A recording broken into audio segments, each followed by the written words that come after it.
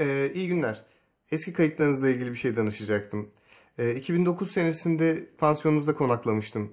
Aslında e, iki gün sonra evleniyorum. Eşimle de sizin pansiyonunuzda tanıştık. O yüzden bizim için çok özel bir yeriniz var.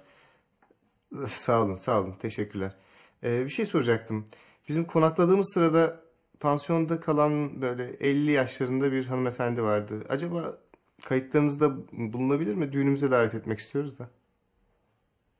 E, tabii tabii hatırlıyorum. E, Eylül 9 15 arası 2009. Tamam bekliyorum.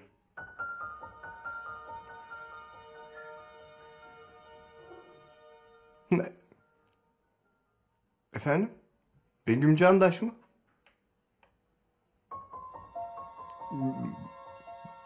Bütün odalar Hı, tek isim.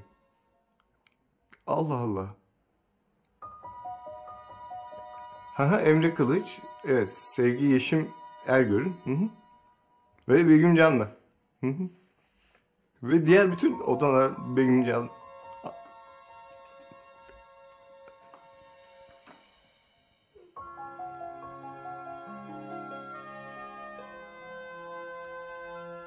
Boyumu ölçer misin?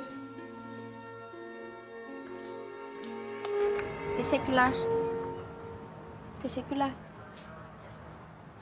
Ha, ha teşekkürler. Abi bir şey değil. Sen olmasaydın ne yapardım bilmiyorum. Bu seçmeli derslerle ilgili en ufak bir fikrim yok. Ya ben biraz bakmıştım işte araştırmıştım falan. Bunlar işimize ileride çok yarayacak. Sen çözmüşsün olayı. Çalışkan bir tipe de benziyorsun. Çok ekmek yerim senden bu dört yıl. Olur yersin. Memnun oldum. Ben de. Görüşürüz.